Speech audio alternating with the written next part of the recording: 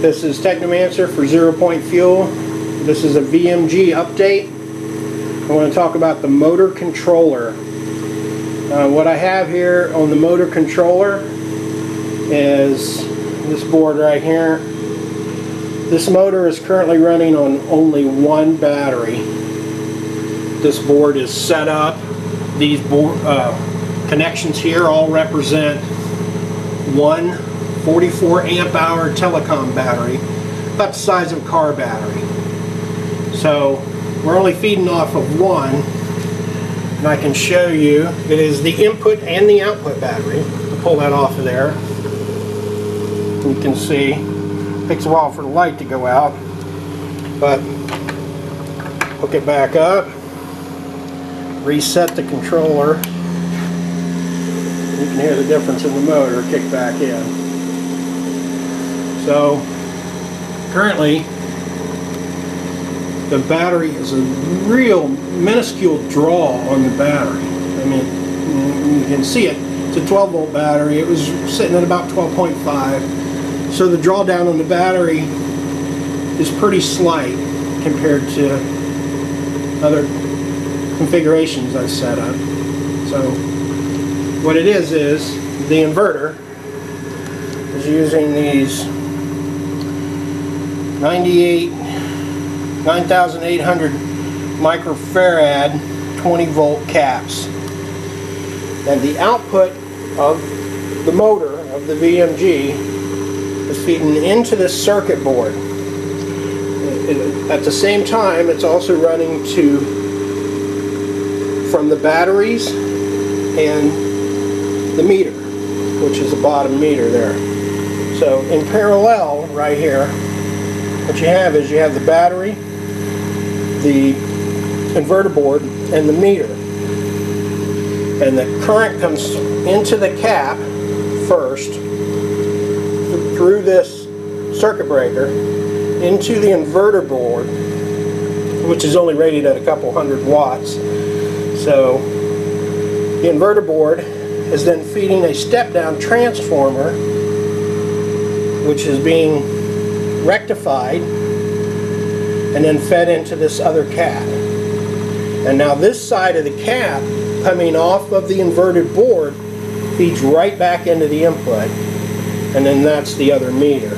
So the circuit is when we add a generator hopefully be self-sustaining but right now the the pulses are being fed from the output of the motor into the battery or actually into the cap because the the battery the current flow currently is from the battery. We're on a draw right now.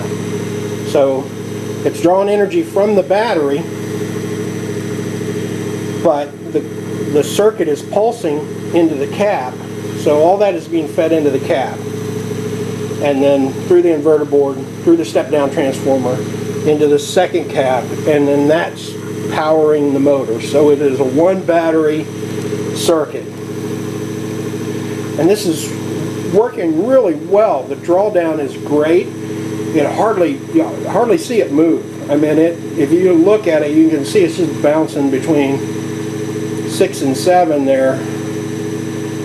And uh, we're reutilizing the energy from the motor back into the circuit this way. And uh, this is the one wire Bedini circuit. one battery Bedini uh, motor circuit. So this is real easy to replicate if any of you guys want to try it. Uh, I'll be posting some stuff to help.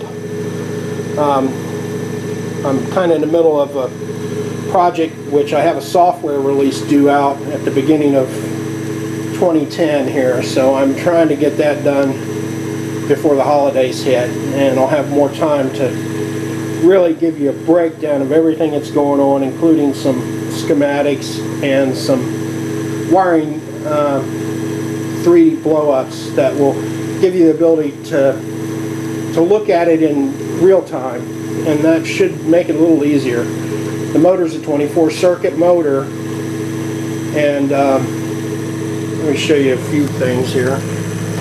The the caps, the um, diodes we're using are just the 07 uh, diodes that everybody uses. So we use them on the chip as well as on the output. Output's tied to this plate, so it's tied to the bottom of that point right there in three points, and then that feeds back into the output.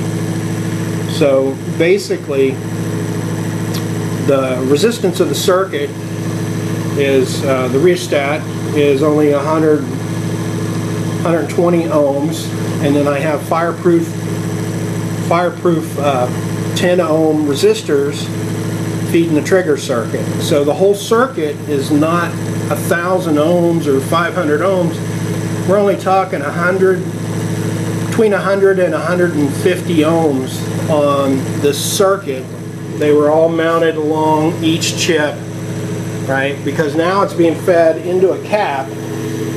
So I will mount a cap on it and then create a switch so I can condition. And then the normal setup would be into the cap. And then you don't need the protection of the neon bulb if you're all constantly feeding a cap. So uh, the motor has plenty of torque.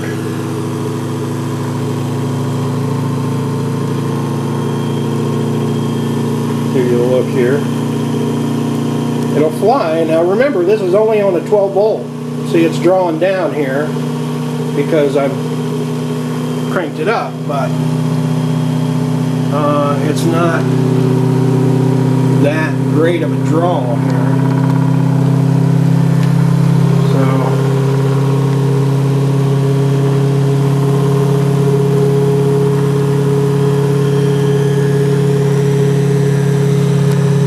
get wild here.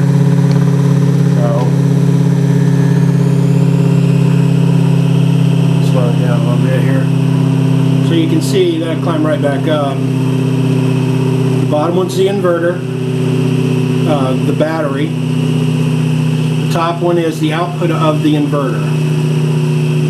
So the way it's wired currently is the control board allows me to run one battery.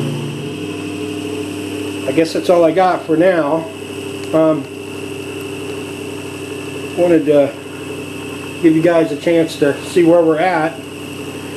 And as soon as I can, I, I will be posting the other material, but I have to deal with issues with work and a software release at the beginning of the year, so I'm kind of limited in how much time I can spend on this until I get a break on the holidays here. Oh, I'll show you this real quick.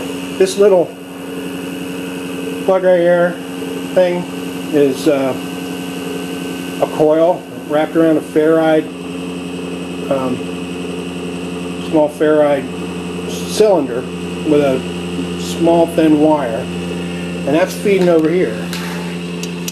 And what this is is um, visual analyzer. Now, a lot of you said this is uh, this software is not really got the resolution required, but it does give me the frequency uh, up here. So I am, if you can see here, let me ch change the frequency.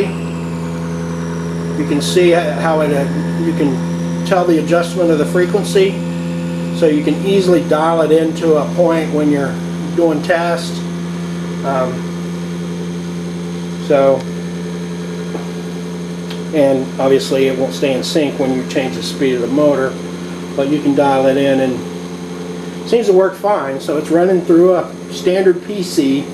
It's only 700 megahertz junky old Pentium 2 machine um, and a decent soundboard and then I put it in a rack so I could roll it around in here so but that's about it for now um, this is Technomancer for Zero Point Fuel signing out